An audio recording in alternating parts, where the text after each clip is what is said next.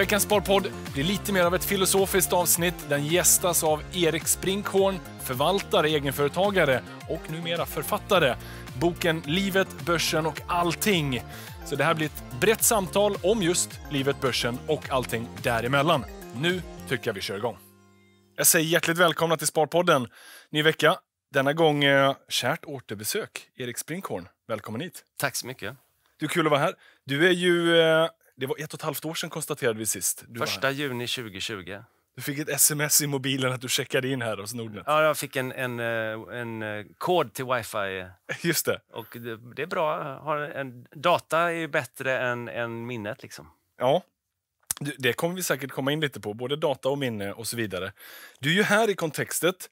Här, om jag vill introducera dig så skulle jag säga att du eh, många kanske känner dig som eller, eh, förvaltare, Ja. alltså förvaltare av TIN-fonder, men du är också egenföretagare. Ni har ju startat TIN-fonder Just det. och driver det där. Numera är du dessutom författare. Ja, om man nu ska kalla sig det efter att ha skrivit en bok tillsammans med någon annan. Ja, ja, ja. Jag tycker ändå det, för det är en bra bok. Och det är därför du är här, för vi ska diskutera lite om den. Ja, kul. Den har dessutom det helt underbara namnet, eller titeln, Livet, börsen och allting. Det är, det är inte små ambitioner. Nej. Och den ser ut så här då för de som eh, kikar in eh, på videon. Men det är ju absolut inga små ambitioner med en sån titel. Det fångar upp det mesta. Ja, och sen, menar, det kanske är lite övermaga om man ska säga så, men det, det var ändå den, den känsla vi fick att, att det finns så mycket som, som rör sig från det ena, eller så mycket kunskap som rör, finns i ett område som rör sig till, över till andra. Eh, från, från livet till börsen och från börsen och tillbaka. Så någonstans så, så eh, hade vi en gemensam bild, alltså, det bara poppade upp i huvudet att, att ja, men Douglas Adams är en gemensam favoritförfattare och, och så kommer man att tänka, det är livet, ja, livet, börsen och allting. Ja, men det, och det fick bli en arbetstitel och det, det blev den titel det blev också. Jag, jag tycker att den fångar rätt väl essensen av boken. Jag ska bara säga då du har ju skrivit den här tillsammans med Kristoffer Andersson. Just det. Känd från börspsykologi och mer börspsykologi och vem vet hur mycket, hur mycket mer börspsykologi. Ja. Mest börspsykologi kanske kommer snart. Och, det, nej, men, och det i sig, det är ju ett, ett behavior of finance med, med utrikiska då, det är ju ett, ett alldeles centralt område inom investeringar. Och måste jag säga någonting som jag inte fick med mig eh, från, från början. Utan som jag tack vare eh, James Montier, inte minst, på Dresdner Kleinwert, den avsomnade mäklarfirman och sedermera på GMO, som hade vecko, ja, det var väl månadsbrev, Mind Matters, Ja. där han liksom gick igenom Kahneman och Tversky. Det var ju, så jag kallar det mitten i min karriär som jag verkligen kunde börja nörda ner mig. Så att jag tycker Kristoffer har gjort ett fantastiskt jobb att i många, många investerare får det där mycket tidigare i sina karriärer än vad jag fick personligen. Jag, jag kan bara instämma. Det, det är två väldigt bra böcker som eh, på ett enkelt, övergripligt men ändå också väldigt praktiskt sätt förklarar olika tendenser som vi människor har, vår hjärna. Våra bias. Våra bias, eller ja, heuristics, Ja. tankevurpor om man så vill. Inte Men, alltid vurpor, ah, ah, men... men heuristics kan ju vara bra också. Ja. Det, och det, det, är väl, det, det har vi med i boken. Att min, min känsla av, av eh, ökad kunskap inom, inom börspsykologi är ju lite grann som har fått beskrivet, att känslan av att åka förarlös bil. Mm. Alltså, först blir man förfärad, det här kommer aldrig gå. Ja. Och sen blir man förtjust, fan det funkar ju! Ja. och till sist blir man uttråkad, för det går ju så långsamt och tryggt. Ja. och likadant, menar, när man väl fattar lite mer om, om alla mänskliga felslut och mönsterigenkänning och, och alla fallacies som finns, då blir man förskräckt. Det här kan inte få fortsätta. Sen blir man beslutsam, nu måste jag göra någonting åt det. Jag, jag ska minsann vara bättre än snittet på det här. Till slut bara får man konstatera att vissa grejer är liksom hårdkodade i huvudet. Då får man hitta strategier, jobba runt det. Och liksom, vissa av de här sakerna, heuristics, är ju nyttiga. Och då får man liksom låsa fast vid dem och försöka skapa sig en värld där man inte är inte så påverkad av Ja. de här mentala fallgroparna. Kahneman säger väl det bäst själv. Han är ju den som har studerat de här kanske allra mest. Och när han fick frågan huruvida han är immun mot dem så är ju svaret rungande nej. Utan han är människa precis som oss alla andra. Men är man medveten om dem så är det ju lättare att hantera dem, men man blir aldrig immun. Ja, det... nej, nej. Men möjligen då så kan en, en, en kaneman som har tänkt på det här i hela sitt liv stanna upp och säga nu är jag inne i endowment bias. Ja. Vad intressant. Nu kan jag plocka upp den här känslan och så kan jag värdera det här. Och så plötsligt så vaknar den rationella hjärnan och så kan man, ja, nej men jag kanske inte ska göra si eller så nu, utan jag kanske ska välja den här vägen istället. Ja. Tänker du själv så? Kan du, kan du hitta dig själv? Någon gång, ja. absolut. Ja. Men det, det, är ju någonstans så är eh, eh, ofta går det ju fortare än att, att man hinner koppla på system 2, men, men eh, det man blir ändå, jag, jag känner ändå att jag blir lite, lite grann bättre på det hela tiden. Ja, ja. Jag, jag, måste väl själv säga att jag också blir bättre på det, men jag är fortfarande så många gånger... Det är lättare i efterhand sen, när man kan se tillbaka på situationen. Då kan man konstatera, ah just det, där kanske jag liksom lät system 1 ta över lite för mycket. Försök påminna mig själv nästa gång, mm. inte vara lika snabb till att uh, komma till en slutsats.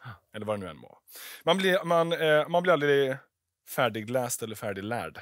Och det är det fina tycker jag. Då. Ja. Det är som investeringar, det är som ett dataspel som aldrig blir klart. Ja. Och det är ett dataspel som du har spelat ett tag och, och fortfarande gillar så att säga. Ja, det är oändligt återspelningsbart. Ja. Det, det enda som kommer i närheten det är ju schack. För det, där finns det fler kombinationer än det finns atomer i hela universum. Så det, det, är också oändligt återspelningsbart. Ja. Även om du känner igen vissa mönster. Så jag tycker det är också en, en, en bra metafor för investeringar. Just det. Vad är Erik Sprinkhorns intressen? Är det schack, börs, läsa, träning, lära sig? Träning, familj. Träning också? Ja. Resor, ja. allt möjligt. Jag menar, det, det är inte helt endimensionell, men ganska, ganska aktienördig, investeringsnördig. Ja. Så. Det märks och det är, det är jättekul och det är därför jag har haft förmånen att få podda med det här, eh, både tidigare och den här gången också. Men om vi ska gå in på boken lite. Mm. Eh, när beslöt du dig för att skriva en bok? Var det en självklarhet? Har det suget funnits? Nej, så, det, det, går ju tillbaka till Kristoffer och, och hans tidigare böcker. Jag var lite spökläsare på, på nummer två då. Mer börspsykologi och, och uh, sedermera så uh, kontaktade han mig och, med idén att vi skulle skriva en bok ihop. Vilket ju... Vad var tanken då? Sågs, jag såg som en omöjlighet i det läget. För jag, menar, jag, jag har ju, som du säger, då, jag är entreprenör och driver bolag och, och försöker lägga absoluta majoriteten på min, av min energi på, på fonderna jag förvaltar. Men någonstans, det finns ju jag, menar, jag är inte fotbollstränare eller handbollstränare längre. Det finns ju ändå tidsutrymme kanske om man strukturerar sin vardag. Så det, det, jag var ganska motsträvig, men, men eh, du känner ju Kristoffer, han, han ger ju sig inte. Nej. Utan eh, någonstans så, så, gjorde jag ändå ett försök. Jag har inte skrivit några långa texter tidigare, men det, no, det har ändå funnits i bakhuvudet att någon gång kanske man ska testa på att skriva en bok. Men det, det, det har aldrig känts realistiskt. Men med den här externa kraften som kom in i, i, i processen så, så blev det faktiskt möjligt att uh, sätta av, blocka av uh, i kalendern. Du kan, du kan blocka av och säga fotbollsträning, men du kan lika gärna blocka av och skriva bok. Ja. Och Det betyder inte att du omedelbart börjar skriva saker, utan du kan sit, sitta där och bara vara helt ha torka, men så börjar du fundera och det börjar hända, mala processer. På någonstans så, om du bara har den här ded, dedikerade tiden så börjar det hända saker. Var det en njutsam process eller var det en plågsam process? Lite av både och, men, men fram, mer njutbart än plågsamt tycker ja. jag. För det är ändå eh, väldigt, väldigt kul och, och inte minst när man hittar de här kopplingarna mellan börsen, livet, livet, börsen. Eh, och, och, lite grann, det är ju Mungers eh, eh, egentligen eh, idé eller hans tankesätt är att, att vara multidisciplinär. Att hitta de här låna från biologin in i psykologin eller in i, eh, in, in i investeringar. Det är ett väldigt användbart sätt att tänka. Ja. Nej, jag, jag, är också, jag gillar böcker otroligt mycket och jag gillar att läsa och ibland när man hör till författare så känns det som att processen upplevs som så plågsam. Men att den kanske behöver vara det för att tvinga sig fram. Men det Man lite, kanske här, ska- ja, men det är lite pretentiöst, nu, dessa födsloverkar som man har. Ja, det är kanske det. frambringa detta mästerverk. ja, det kan ju vara det då. Du är lite mer ödmjuk. Jag, jag, jag tycker inte det. Det är, det är, det är en, en, ett antal månader av träget arbete. Ja. Så ska jag beskriva det. Det är väldigt, eh, väldigt göteborgigt av dig. Borskt av dig. Ja, jag vet inte. Men det, det, det är framförallt en väldigt, väldigt kul erfarenhet och, och eh, ett, ett lärande i att skriva också. Ja. Men om du tvingas att... Ja, men du, har läst någonting, du har förstått det kanske. Eh, men att, att ta den här informationen, koppla det med någonting annat och, och sen tvingas att formulera det. det. Något bättre sätt att lära sig själv finns ju inte, skulle jag säga. Jag kan hålla med. Och nu har vi pratat lite förgrunden sån här, men börsen, den här boken då. Om jag skulle få förklara den med mina egna ord så får du rätta mig huruvida jag är helt ute. Kör hårt. Men eh, det här, det jag gillade med den här, jag har ju läst den. Eh, det jag gillar är att det är en aktiebok som inte handlar så mycket om grafer och aktier eller aktier, aktier överhuvudtaget. Det är 12 kapitel. Mm. Väldigt mycket filosofisk... Eh, en filosofisk eh, avstamp, eller liksom eh, mycket referenspunkter till antiken, eh, till historiska händelser. Mycket börspsykologi inblandat. Eh, Fast det är ändå, där, där håller jag inte riktigt med. Det är Ah, okej. lite börspsykologi, men det är, ändå, det är ändå någonting, ett område som Kristoffer har mutat in lite grann. Så att det, boken var väl, hade kunnat ha mycket, mycket mer av, av det. Det hade den kunnat ha, men jag, för mig så blir det ändå sådär tålmodighet, girighet, Ja, pessimist, optimism, eh, storytelling. Det, det jag gillar med boken det är att det är en aktiebok utan att handla om aktier. Du kommer inte någonstans i den här boken se en graf, du kommer inte någonstans höra att It's a show about nothing. Ja, det är lite som Seinfeld. Och det blev ju en succé. Men, nej, men det, det här är någonting annat. Jag ser mig själv som en relativt liksom, bevandrad aktieinvesterare. Jag är långt ifrån eh, den bästa eller duktig, så, men hållit på med ett tag. Har förkovrat mig i mycket aktieböcker. Men det blir ganska mycket eko efter ett tag. Här kommer det någonting nytt. Ja, det är, vilken underbar, kul feedback. Och det, det är väl om, om det, ek, det, det finns eko med vår ambition någonstans att skriva någonting som är annorlunda också. Och mer grundat, om inte i psykologi, så någonting relaterat. Jag menar, värderingar, Ja. Identitet, eh, vilka egenskaper och att man faktiskt själv har, har möjligheter att, att forma sig själv om man vill. Och, ja, men, och sen samtidigt, den är underhållande. Eh, det bjuder på dialog mellan dig och Kristoffer. Det bjuder på referenspunkter, både moderna och eh, historiska. En, ni refererar till Soldef. Men jag har aldrig läst en annan bok som refererar till... Liksom, Soldaten i fält. det, det bara det var ju otroligt uppfriskande. Och, och Stonk Wars och eh, sen får Aristoteles ha sin plats, eh, Ja. Platon. Nej, men det, det, jag tycker Ett den, här sammelsuriet av, av eh, gammalt och nytt, det, det, det fångade oss och det, det, det gjorde det kul att skriva. Och förhoppningsvis kan det bli lite kul att läsa också. Att, att Ja. om, man, om man eh, vill hänga med den här eh, krokiga resan så, så tror man... Jag, tror ändå att, att det kan vara kul för många. Det är det. Men det finns ett gäng aspekter i boken som är ganska tacksamma för diskussion. Mm. Det tänker jag, det kan vi ändå ta lite tid här. Lycka är ju ett sånt, eh, ett, ni dedikerar ett kapitel åt. Eh, pengar, pengars syfte. Mm. Mm. Vad, vad, om- jag får ställa frågan till dig, vad, vad är lycka för dig och vilken funktion spelar pengar in i lycka? Oh, eh, lycka är väl någon slags eh, continuum. Jag, jag, jag, jag vet inte om, om eh, det låter sig beskrivas. Jag, menar, jag har ingen så här standardformulering. Det här är en, den perfekta versionen av lycka för mig. Jag tror att... Eh, Ni ja, ger ju en formel. ja, ja, jo, att, Utfall minus förväntningar. Absolut. Menar, det, det, och det, den är bra, men det hjälper mig att sätta förväntningarna rätt och, och då blir jag mer ofta positivt överraskad och då blir jag gladare. Ja.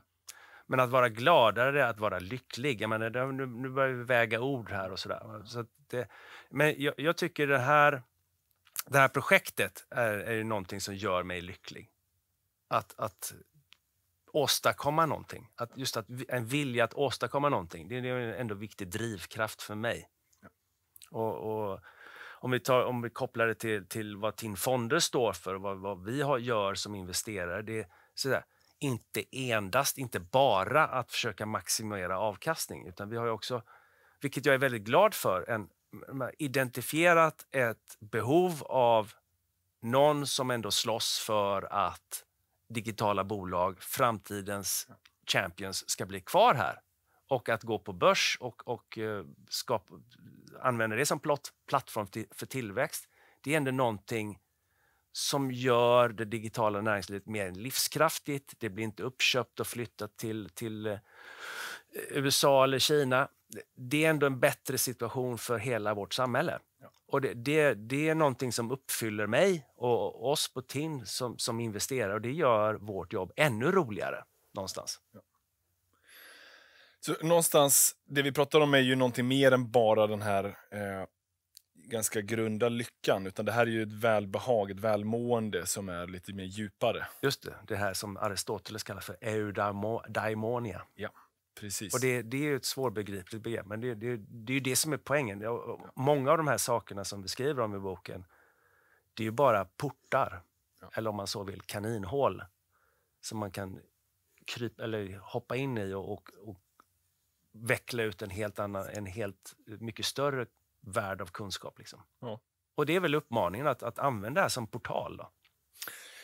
Och jag, gillar ordvalet här, portal eller porthål, att pengar på något sätt kan få representera också det, verktyget för att nå den här djupare välbehaget. Ja. Eh, men det är inte det som är målet i sig. Ja, det finns ju många aspekter av, av, av pengar. Jag menar, du har ju jaktelementet.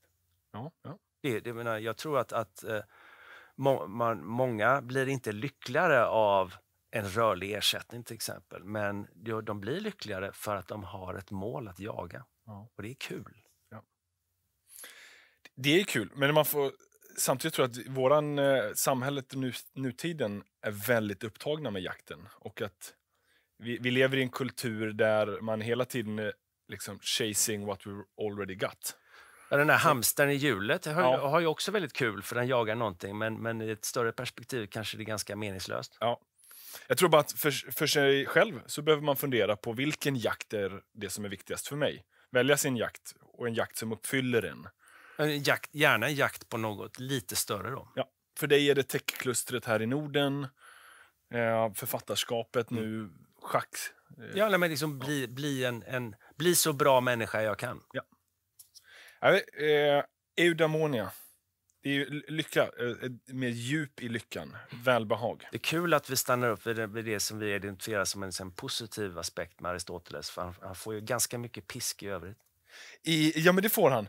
Ni är, inte, ni är absolut inte rädda i boken att ge lite pisk. Buffett får lite pisk också. Ja, jag skulle inte kalla det pisk. Det, det är bara, jag tycker bara det är intressant att ställa upp. Men Buffett är med rätta en väldigt hyllad ja. person och investerare. Och, och han blir ofta citerad. Han är en otrolig citatmaskin. Och det, det är väldigt, men någonstans så kan det vara intressant då. Det, det, det kan bli lite frik, friktionigt sådär att, att man, ja men det här är en alternativ bild. Ja. Var det verkligen Rick Guerin som var girig? som är den allmänna bilden. Som någonting som, som eh, Buffett gärna odlar. Ja. Att han är en hyvens prick som... Men utnyttjar inte Buffett Guerins ja. trångmål för sin egen girighets skull. Det, det går... Finns det belägg för det här? Jag har ingen aning. Jag alldeles, uh... Men det är därför vi skriver mockumentary. ja. ingen, ingen, eh, jag, det här är ju nästan 50 år sedan och ja. ingen vet vad som rörde sig i huvudena på, på, på, på de där individerna och, och vad, vilka möten som ägde rum och som vad som exakt hände. Men den där historien, många är intresserade av att, att, att gräva ner sig i den här djupa historien och, och gör man det så lo and behold, då kan man hitta en, en, en, en variant som ser ut så här. Ja. För, kontext då för lyssnarna, så eh, Buffett är ju ett välkänt namn och så har han sin parhäst Charlie Munger. Båda som sagt väldigt hyllade, med all rätt. Eh, Sen har vi den bortglömde tredje delägaren ja. i, i, Berkshire Hathaway. Ja, Rick Gerin, eller hur uttalar man det? Gerin, tror jag. Gerin, ja. Som, som dog eh, 95 år gammal någonting. Eh, väldigt rik, väldigt lycklig, omgiven av en stor familj. Så inte, inte alls eh, utblottad och, och bortglömd eh, utan en, en, en framstående medlem av samhället i Kalifornien. Eh, och s- så den, den, men han, han upp, njöt uppenbarligen av att inte vara i uppmärksamheten. Ja. Eh, och, och sett över hela sin karriär och hela det partnerskap, då, proto-hedgefond som han hade tillsammans med Charlie Munger, samtidigt som Munger jobbade med Buffett. Det var ju fantastiskt framgångsrik. Och någonstans, eh, historien som den återberättas då är ju att eh, han tog för mycket belåning. De alla tre fick sig Berkshire Hathaway, köpte till sig Berkshire Hathaway som nu är den här framgångssagan vi känner den idag. Men att Rick då med belåning eh, hamnade i knipa där Buffett räddade honom eller köpte ut honom. Eh, nej, Det är ju Buffetts det- version av det. Det, det, jag vet inte vad Buffetts version är exakt är. Om, om eh, han var bara ja, it's a guy who got greedy. Ja. And look what happened to him. Liksom. Påminnelsen Buffett vill skicka med är att belåning kan göra det här med dig. Och den, den lärdomen, den, den håller jag verkligen med om. Att, att eh, är det någonting man ska göra med risktillgångar är att, att använda eget kapital och inte belåna sig. Även om det är väldigt populärt. Så det, det, finns, eh, det finns ju sanningar där och Buffett och Munger de får mycket hyllning i boken men jag tyckte det var lite underhållande. Att det också kan få komma in en mockumentary, en alternativ Ja, ja, historia. absolut. Och, och, om, om, om jag var tvungen att välja bland de två, då skulle jag ju föredra Munger varje dag i veckan. Varför Ändå. det? Nej, men eh, en, en, jag tycker ändå han har en, en, en större repertoar och en, en, en större visdom och inte bara de här förnumstiga citaten. För vad kan du göra med det här, alltså, be fear, greedy when others are fearful uh, and vice versa? Ja, men det är ju en truism. Ja. Men det säger ingenting om hur du ska bete dig för att göra det. Ja, just det. Och, och Mungers hur är ju att se till att ha en multidisciplinär approach. Bland annat. Och, och ständ, ständigt försöka lära. Eh, s- två stora, eh, framförallt då Munger, en stor tänkare som jag ser har påverkat dig ganska mycket. Man- får ju en del eh, citat, man får en del eh, återberättelser från honom. Eh, Just det. när, när kom du först i kontakt med Buffett och Munger? Ja, men det gör man ju ganska tidigt när man börjar med investeringar. Någonstans. Jag, jag ingen, men sen, jag, jag kan inte påstå att jag har eh, varit en stor uh, aficionado av, av eh, Buffett och Munger så att jag läst allt jag kommit över.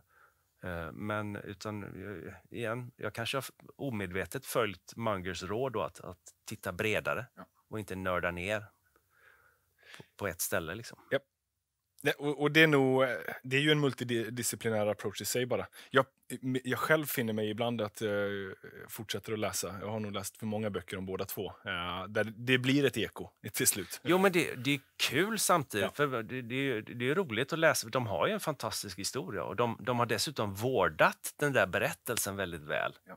Vilket också är intressant att, att alla historier som vi berättar för andra, för oss själva och hur man, hur man kan faktiskt ändra historien genom att skapa, alltså tweaka den och, och, eh, och kan du tweaka historien så kan du också tweaka framtiden.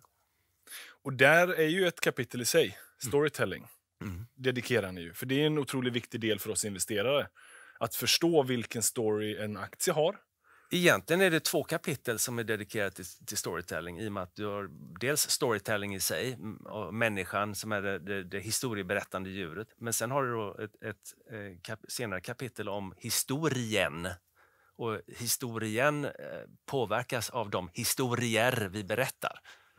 Så att, eh, det, att, att hur man kan styra framtiden eh, i, i um, Orwells eh, bemärkelse. Den som kontrollerar historien kontrollerar framtiden. Ja. Och den som kontrollerar nuet kontrollerar historien. Och för mig, när jag läste de här kapitlerna, eh, de, dels så tar jag med mig att man kan se på historien med olika glasögon. Det, det vill ni ju eh, åskådliggöra genom att studera de senaste hundra åren och sen blicka ut Mm. fem år, 50 eller 40 år i, framåt i tiden. Och att man kan konstatera att fakta finns, men man kan eh, tolka orsakerna bakom det där på lite olika sätt. Mm. Och eh, än en gång, vinnarna skriver historien, det är det som blir sen sanningen. Mm. Men att man gör sig nog en björntjänst om man bara köper historien rakt av. Men man gör sig också en björntjänst om man inte eh, studerar historien, utan man behöver ha kontextet, men hela tiden försöka se kontextet ur olika synvinklar. För att inte bli för fast vid ett spår. Och då kan man ju använda sig av den här fina frågan som vi formulerar i boken, cui bono. Ja. Vem tjänar på att historien är skriven på det här sättet? Det, det, det, det, om man överanvänder frågan som är otroligt skarp och bra um, så kanske man blir en cyniker till slut. Ja, det är sant. Men, men eh, med viss eh, rationell skepticism kan man, liksom, kan man använda den vid särskilda tillfällen. Ja. Um, då, då, då är den väldigt avslöjande. Och, och, den frågan är ju även bra att använda då i ett nutida kontext där storytelling också är jätteviktigt. Mm. Uh, att, uh, att, det finns ju hela tiden stories och man investerar efter en story. Varför man tror att det här bolaget ska ta sig till den höjden som de utlovar. Mm. Och då måste man än en gång fundera på vem tjänar på det? Vilka incitament finns det? Det går ju att applicera på varenda budskap du hör från alla olika kanaler. Ja. ja vem tjänar på det här då? Ja. Att jag hör detta? Ja. Eller ser det, eller läser detta? Att man sitter och lyssnar på den här Sparpodden, ja. Ja, vem, vem tjänar på det här? ja. ja uppenbarligen så har jag ett intresse av att, att boken blir läst. Men det tror jag å andra sidan är, jag är lite skin in the game, vilket är en viktig parameter att kontra eh, Qui Bono. Ja. Att, att, jag tror, hoppas att folk kan tycka den är kul. Det enda som tjänar på det, det är ju Nordnet, eller? Ja, som lyssnar på Sparpodden, tänker jag. Ja, det, det stärker liksom... Stärker varumärket. Ja. Vi har ingen eh, monetarisering, tyvärr. Ingen betalväg? På, alltså ingen, ingen betalväg, ingen nej. sponsor. Det finns de som önskar. Men, och det finns inget ja. transaktionellt mellan dig och mig? Jag fick en bok. Ja, du fick en bok. Så det, har, det har du tjänat på, på det sättet? Det har jag. Ja. Och jag fick mycket kunskap, vilket jag tackar för. Ja, men ja, då, då, kanske, det, då kanske det är en okej... Okay, ja. en Cui Bono-situationen kanske är okej okay då? Jag skulle nog säga det. och jag vill gärna dela med mig av den kunskapen, så därför jag också bjöd in dig för att ja. berätta mer om det. Så att, det kanske finns någonting för alla att vinna då? Ja. Men det är en jättebra fråga att ställa. Mm. Storytelling, vem tjänar på det? Incitament och skin in the game. Mm. Här plockar du upp Munger igen. Mm. Uh, han slutar ju aldrig förvånas över incitament, hur viktiga de är som drivkrafter. Det är det som egentligen driver nutida historieutvecklingen. Vilka incitament, varför gör man saker? Exakt. Och, och se dem bortom de slöjor som ändå finns. Ja då, då, då öppnas ögonen för, för världen på ett helt annat ja, sätt. Ja. Nu, det här är ju allt, det är lite svårt att diskutera igen, eh, liksom för det, händelseförloppet håller på att falla ut, men det här är ju även superrelevant i den, det krig som pågår i Ukraina. Mm. Det, Vad det, finns det för incitament för Ryssland? Vad finns det för incitament för väst? Exakt. Ja. Och det, det, det var väl en, lite grann... Eh, nu ska man inte vara så ego som att ja, det var synd att det hände efter vi var klara med boken. Men å andra sidan, det, det, är synd för det, någonstans är den här boken ju skriven i en annan era. Ja. För det som hände den 24 februari, det, det, det är en, det är, det är en event, en punkt i historien som där vi tar en helt annan väg. Ja. Någonstans in i en ny världsordning. Och den, den, den, har vi inte adresserat, men kanske finns det aspekter i det där som kan hjälpa oss alla att, att uh, se vad, vad, hur det här kommer att kristallisera sig någonstans. Ja. Men jag är lite nyfiken om vi ska plocka ner det till investeringsperspektiv. Incitament och sånt där, hur viktigt är det för dig när du analyserar bolag, försöker hitta... Jag, jag ska säga, vi har citerat Sagax årsredovisning i boken. Ja, just det. Och det, det, det är en intressant... Ja. Man tittar på large cap och, och de, de, de styrelser där um, Eh, ledamöterna äger fem gånger ett, mer än fem gånger ett årsarvode i aktier i bolagen. Och så titta på hur den gruppen går jämfört med resten. Det är ganska talande. Ja. Eh, att, att riskera sina egna pengar i den styrelse man sitter, eh, i bolaget för den styrelse man sitter. Det, det verkar finnas någonting där. Och det, det, tar vi med oss. Och vi, I den mån vi sitter i valberedningen så tjatar vi väldigt mycket om att, att styrelsemedlemmar ska investera i aktier. Ja. Och det här tror jag att de... Man, man greppar ju det här idag, att det finns den här skin in the game. Nassim Taleb har populariserat det där och, och, och Munger och så vidare. När kan det gå till överstyr? För vi vet ju också att girighet inte alltid en dygd som funkar eller kan få spin-offs effekt. Mm, nej, men det, det, det finns säkert eh, situationer om man skulle säga så här, tänk om en, en, entreprenör har en väldigt stor andel av ett bolag och, ja. och, kanske fortfarande ser bolaget som helt sitt. Det är en risksituation. Ja, ja. Så att, eh, du har, individen har jättemycket skin in the game. Men vad händer? Med, blir, har du för mycket av din totala förmögenhet eller, eller för mycket investerat, kanske har satt ditt namn på firman, leder det till ett minskat risktagande? Mm. Leder det till en, en, en impuls att bevara snarare än att utveckla? Ja. Men det finns, du kan ju vända på det här. Att invertera resonemanget det tycker jag är också, en väldigt användbar mental modell. Så det, det finns ju faror i alla riktningar egentligen. Men är det någonting som ni aktivt liksom bevakar som investerare? Ja, det, i Teamfond? Alltså så här, försöker ni styra entreprenörer? Eller, ni kan ju ofta, det är ju techkluster, så att det, ofta finns det en entreprenör som är den liksom, hästen man bettar på, men sen kan det ju finnas andra storägare som kan ha andra incitament som gör att det kan bli man kan gå emot varandra. Ja, men förhopp, förhoppningsvis har man en grupp ägare som har, har en samsyn på vart, vart bolaget ska ta sig. Eh, men det, det är klart att det, det finns ju alltid eh, saker som kan funka bättre. Normalt sett är det ändå så att, att ju fler eh, ju större andel av ett bolag som, som grundaren har vid, vid IPO, desto, desto bättre är det. Ja. Skulle jag säga. Det är så enkelt. Ja, det är en bra KPI, det är en bra heuristic. Ja. ja, men det är ett jättebra medskick. På tal om investeringar, en annan intressant debatt i boken, Mm. det är ju David och Goliat Just det.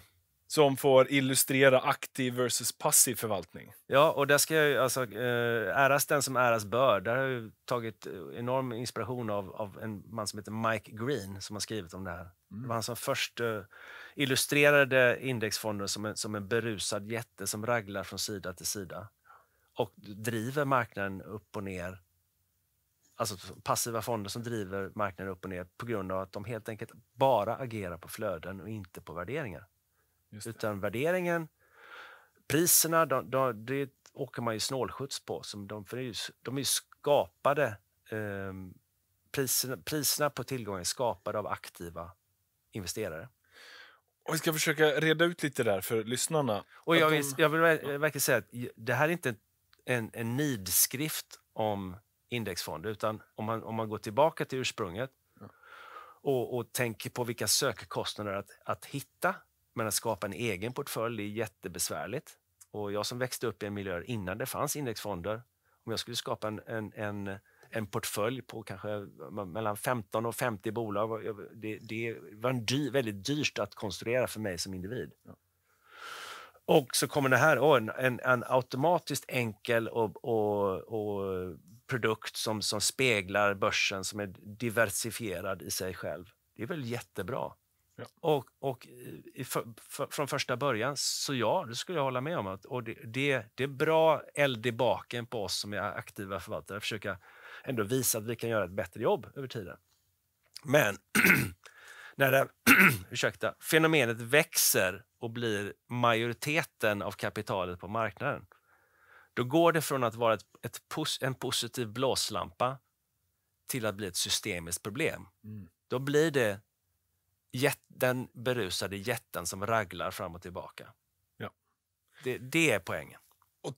Tror du att eh, en del av hela covid-kraschen kan den eh, liksom här skrivas till? Det? För det du pratar om är ju Ja. att en indexfond, det är ju kapital, det bara köps för definierat vilka aktier, det spelar Mm. inte roll vilken värdering, utan det ska bara in så mycket procent i eh, Boliden och så mycket i SSAB och så mycket i... Och ju vidare. högre värderat ett bolag är, då ska man ha mer av det. Ja. Det är också en, en intressant aspekt. Och det går ju emot egentligen all typ av finansiell teori. Eh, Du borde Ja. ju någonstans fundera på priset, det är en faktor du betalar för. Ja, det är en väldigt central faktor till och med. Ja, det är där du mäter din avkastning ifrån. Ja. Köpet till vad du säljer. Ja. Så det blir ju... Jag, jag köper ju verkligen den här illustrationen av att man bara... Eh, flödet i sin tur, det bara, det bara matar på. Mm. Och det finns ett månadssparande nu dessutom som bara öser på i det här. Och någonstans är väl det fine så länge, så länge du har en, en, ett nettoinflöde, att, att, eh, att populationen vill spara Ja. för sin framtid, då, då, är, då leder det till... Egentligen, då skulle vi kunna förvänta oss naturligt högre värderingar på börsen, eller hur? Ja. Men, och, men om de flödena då vänder, till, till exempel att vi, vi som samhälle blir gråare, alltså blir, blir äldre, då hamnar vi i en netto eh, utflödesposition någonstans. ja, men då finns det ju ingen botten. Nej. Och, och någonstans så blir kommer vi ha, eh, innan vi vet vad, vad, vad, vad vi har för endgame på den frågan, så, så kommer vi ju se då att varenda gång vi har fluktuationer i sentiment, alltså att, att vi blir, precis som du var inne på med covid, att, att nu blir vi rädda. Då kommer du se en, en, en, ett kraftigare dropp. Mm. Och så sen när vi inte är rädda längre, då får du se en, en våldsam uppgång. Ja. Så det, det, det, det, det, är inte så att marknaden har saknat de här sakerna, sakerna tidigare. Alltså, vi har sett kraftiga kast. Det går inte att, att hävda att, att marknaden har varit rationell historiskt. Nej. Utan du har haft ganska vo, våldsamma kast upp och ner. Men en, en, en positiv trend uppåt åt, åt, åt höger. Ja. Men addera då en allt större element av, av passiva fonder som styr var, flö, eller, vart flödena går. Eller, mm, då, då blir de svängningarna troligen större framöver. Och, jag köper, och hela den här analogin då med Goliat eh, förstår man ju då vad du menar och den här berusade jätten. På vilket sätt är aktiv förvaltning då David? Ja, da David får ju, eh, som, som försöker hjälpa den här berusade jätten hem då, försöker hålla honom mitt i vägen. Det är ju, får ju illustrera aktiva investerares, både förvaltare och privatpersoner, som ändå har en åsikt om och en kollektiv visdom kring var priser ska vara någonstans. Det. Så det är den. Och, och, och att idag då är ett större kapital i, i Goliat, så därmed jätten. Liksom. Om man tar det här argumentet in extremis då, så om, när om 95% blir passiva fonder, då kan ju liksom S&P eller aktiemarknaden gå 5000 gånger. Och Ja. Snitt PE på en miljon. Nej, men liksom, Ja, ja, eh, ja. Nej, men jag fattar. Det är, eh, det är så, det jag gillar med det här, jag har inte själv en bestämd uppfattning om varken aktiva eller passiva fonder. Utan jag, jag, så här, det du säger är ju också att det finns en plats för passiv, de här passiva fonderna. Innan historien hade vi inte dem. Då var det svårt att bygga en portfölj. Här har vi en möjlighet. Nu får vi en systemrisk för att de är för stora. Den, den eh, lyssnaren kanske också kan se att ja, men aktiva fonder då, de har ju som kollektiv underpresterat. Det är det Kristoffer i er dialog i boken också vill påpeka. Och det, det är ju, så är det ju. Det är ju en truism. Är man- Om vi har en, en, en, en, eh, en marknad där folk kämpar lite grann mot varandra som kollektiv då, så, så kommer ju snittet på grund av helt mekaniskt på grund av avgifterna att gå sämre än marknaden. Ja. Det är, snittavkastningen är kostnaden för att skapa portföljen. Okej, då finns det ett sätt att skapa den billigare, indexfonden. Då, är, då kommer på snittet att vara högre för indexfonden. Men fortfarande en underavkastning. Ja. Det finns en avgift. Ja, absolut. Och det kostar ju någonting. Ja. Du kan inte få den fulla indexavkastningen gratis. Det går inte. Det- Även om det finns gratisfonder så är det... För det kommer alltid en kostnad någonstans. Någonstans blir konstruktionen eh, kostar någonting. Så att allting har ett pris. Ja. Men jag tror att alltså, det är klart att, att eh, det väl, kalla det, om, om det är en bra start, boom, då har du en diversifiering. Okej, skönt. Ja. Då, då, ovanpå det, vad kan jag göra mer än det? Ja.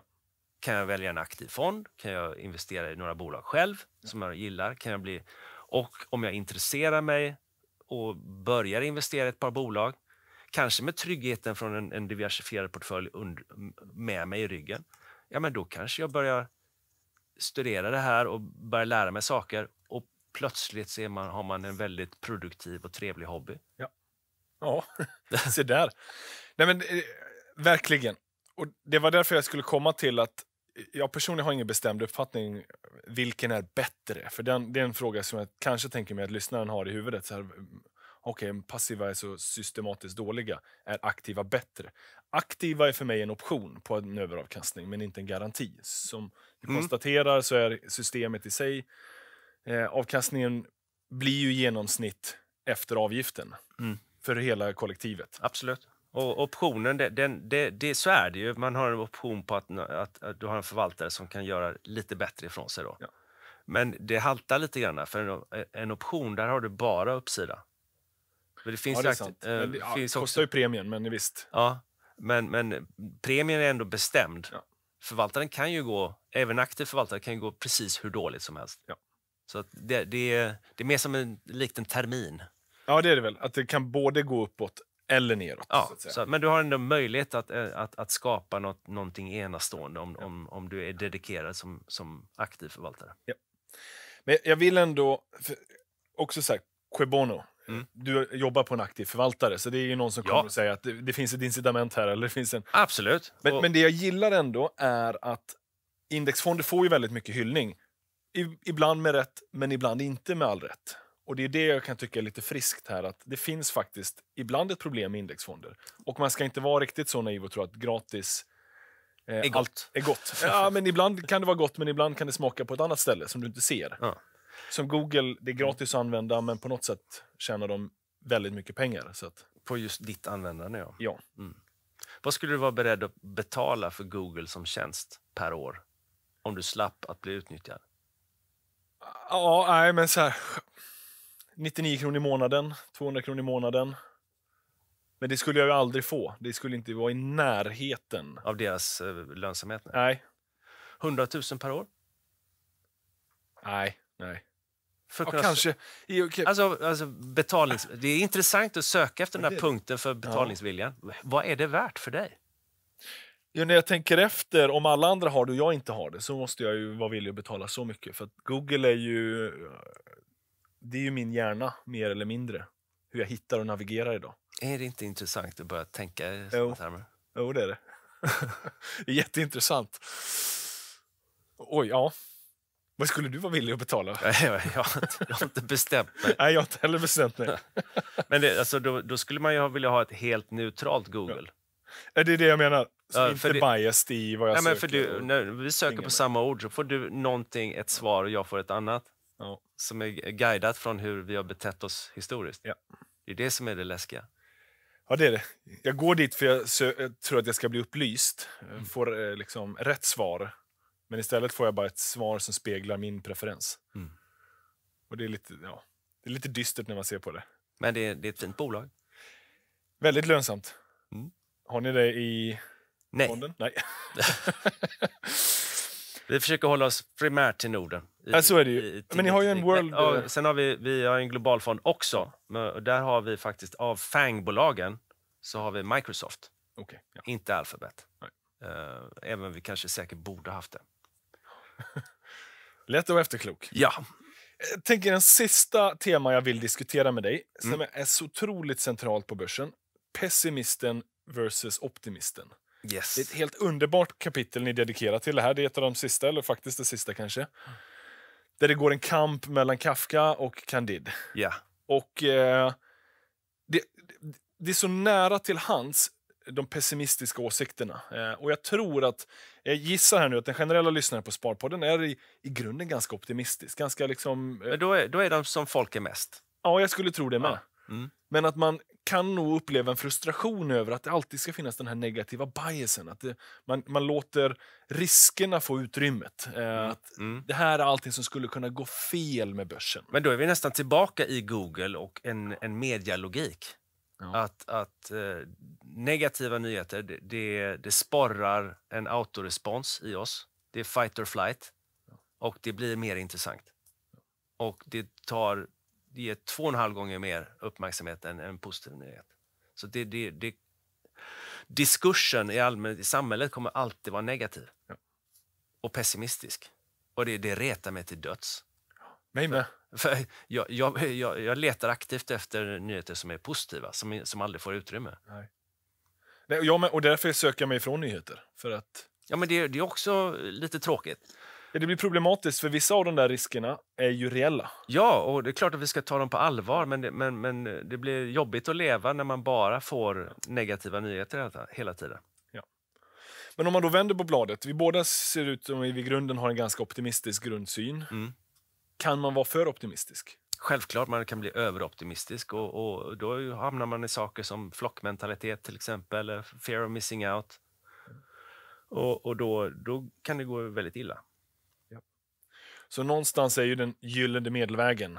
En re resonabel optimist. Ja. En, en, en Och det, det här är ju Kristoffers uttryck där, som han väl, verkligen gillar och upprepar många gånger. Att, den, att vara narr, eh, vara, inte vara narren som tror att man är vis utan vara den vise som vet att man är en narr.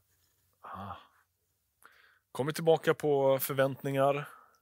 Ja, liksom, inte, inte bli övermodig utan faktiskt försöka hålla sig nykter. Men med en alltså, positiv grundsyn. Och Det finns ett, ett, eh, ett citat vi verkligen gillar och det är att, att spara som en pessimist men investera som en optimist. Och Det är någonstans det är väl nyckeluttrycket för hela, hela boken. Och jag, jag gillar det uttrycket jättemycket. Jag har hört det tidigare gånger med, mm. och det är ett sånt uttryck som har fastnat med mig. Mm. Jag tror att jag har försökt leva efter det ganska mycket under stor del av min börs och aktie och sparkarriär. Mm. Att man, man behöver vara sparsam, man behöver se till att eh, ha en buffert för att det kan hända oförutsägbara händelser. Och igen ha skydd på nedsidan. Låga förväntningar, förvänta ja. sig dåliga saker. Ja. Men eh, oftast så blir saker inte så dåliga som, som man kanske förväntar och då, då har man ett utrymme att, att vara glad över och, och som man kan använda. Ja. Och samtidigt vara väldigt opportun. Var exponerad mot börsen. Mm. Se till att ha exponering mot den innovationsförmåga som vi mänskligheten vad är, som, vad är det som är så fantastiskt med börsen? Ja, vad är, består börsen av? Det är bolag, alltså företagande. Ja. Och den, den gräddan av vårt företagande, de allra bästa bolagen. Så i snitt så kommer de ju vara väldigt lönsamma. Ja. Och det, är inget, det, är, det, är inte, det är inget, nästan en naturlag att börsen över tiden ska gå upp. Ja. Så länge vi är innovatörer så kommer den göra det. Och det är obotligt optimistiskt att vi kommer att förbli. Kul! Jätteroligt. Kul, kul att vara överens, eller Exakt. Du, Erik, eh, vilken härlig bok ni har skrivit ihop, du och Kristoffer. Tack så hemskt mycket. Det, det gläder mig eh, mer än du kan ana att, att få höra det. Ja, men det är välförtjänt. Och eh, till er nu lyssnare som är nyfikna, livet, börsen och allting. Den finns ute nu i butiker. Där böcker finns. Där böcker finns. Stort tack för att du kom hit till Sparpodden igen och eh, delade och diskuterade lite av eh, tankar, idéer och filosofi däremellan. Tack så mycket för att jag fick komma ja. igen. Du... Låt, låt, inte gå ett och ett halvt år till. Va? Nej, det tycker jag inte. Det får, det får vi hitta ytterligare eh, ett tillfälle här snart igen. Grymt. Till er som har lyssnat, stort tack för att ni hänger med och vi ses och hörs igen nästa vecka. Ciao!